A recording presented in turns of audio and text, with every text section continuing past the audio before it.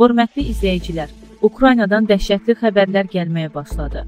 Videonu maksimum bəyənək ki, Rusiyanın nə qədər vəhşi millət olduğunu bütün dünya görsün.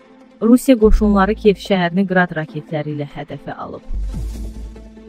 NATO-nun 4 yeni döyüş qrupu Şərqi Avropaya yola düşəcək. Jens Stoltenberg deyib ki, NATO liderləri 4 yeni NATO döyüş qrupunun Şərqi Avropada Slovakiya, Macarıstan, Bolqaristan və Rumuniyada yerləşdirilməsi ilə razılaşacaqlar.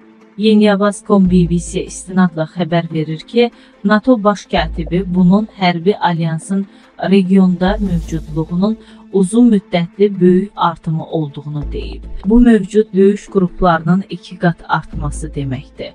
Qeyd edək ki, ABŞ prezidenti Joe Biden Vaşinqtondan Belçikanın paytaxtına yola düşüb və burada NATO müttəfiqləri ilə Rusiyanın işğalına cavabı müzakirə etmək üçün görüşdə iştirak edəcək.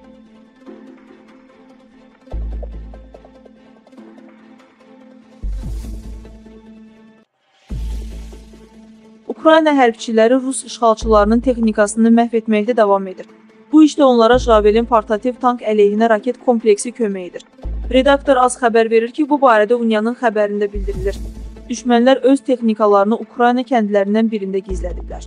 Ukrayna Silahlı Qüvvələrinin quru qoşunlarının məlumatına görə o xolodunun yar briqadasının döyüşçüləri tərəfindən məhv edilib. Javelin sayəsində döyüşçülər dəqiq bir zərbə vurmağı bacardılar qonşu tikililərə ziyan dəyməyib deyə məlumatda bildirilir.